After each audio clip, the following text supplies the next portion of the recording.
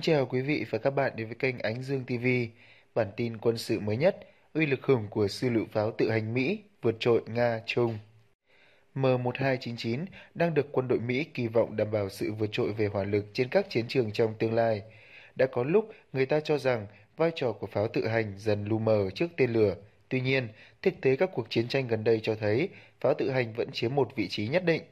Chính vì vậy, nhiều cường quốc đang theo đuổi các dự án phát triển và nâng cấp các loại pháo tự hành hiện có nhằm đáp ứng điều kiện tác chiến hiện đại.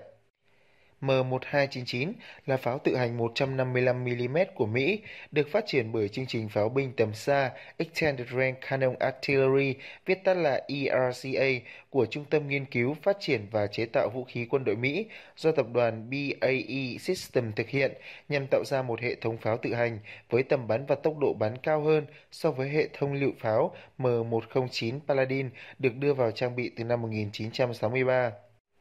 Phiên bản mới nhất của dòng này là mẫu M109A7 Paladin của quân đội Mỹ, được đưa vào sản xuất từ năm 2013. M109A7 trang bị pháo 155mm trên L39 với chiều dài nòng gấp 39 lần cỡ nòng, có tầm bắn tối đa 24 km và lên tới 30 km với đạn tăng tầm hoặc 40 km với đạn thông minh Excalibur. Tuy nhiên, tốc độ bắn chỉ giới hạn 4 phát trên 1 phút.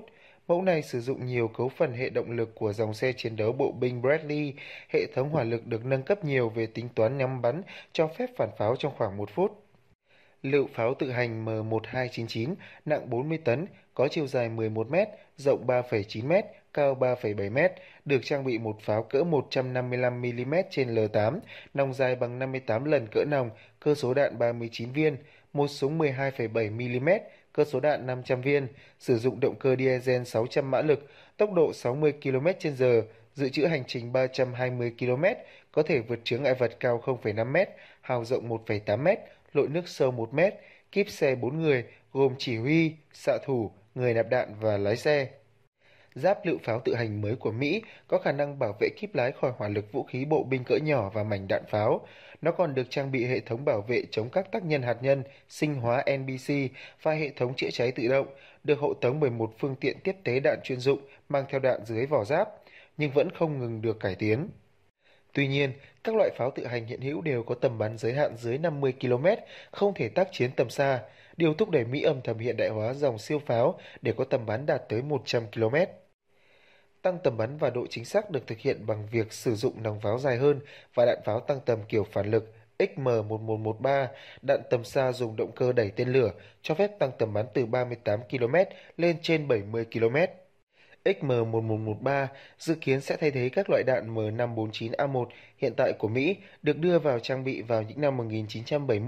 1970-1980, có tầm bắn khoảng 30 km.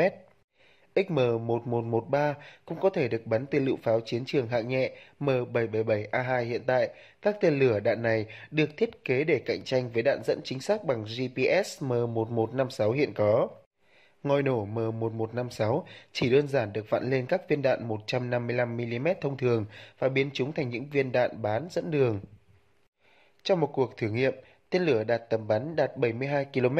Quân đội Mỹ hy vọng sau 4 năm sau khi thực hiện hiện đại hóa, các hệ thống M1299 dã chiến có thể tấn công mục tiêu từ khoảng cách 100 km, sẽ là loại siêu pháo 155mm có tầm bắn xa nhất mà con người từng chế tạo. M1299 kết hợp với liều phóng siêu mạnh XM654 và hệ thống nạp đạn tự động có thể tăng tốc độ bắn từ 3 lên 10 viên mỗi phút. Nguyên mẫu XM1299 được trang bị súng máy hạng nặng 12.7mm gắn trên nóc. Phiên bản hiện đại hóa sẽ được trang bị hoặc là súng máy 12.7mm hoặc là súng phóng lựu tự động 40mm cùng thiết bị điều khiển từ xa. Lựu pháo có khả năng bắn đồng thời nhiều đạn, có thể phóng tới 8 quả đạn rơi xuống mục tiêu cùng một lúc. Điều này tạo ra một hiệu ứng mạnh, bất ngờ đối với kẻ thù và theo cách đó, một chiếc XM1299 trong một khoảng thời gian ngắn có sức mạnh hỏa lực tương tự 2 hoặc 3 chiếc M109A7. XM1299 còn được trang bị hệ thống điều khiển hỏa lực mới cũng như hệ thống thông tin liên lạc có thể hoạt động trong môi trường GPS bị gãy nhiễu.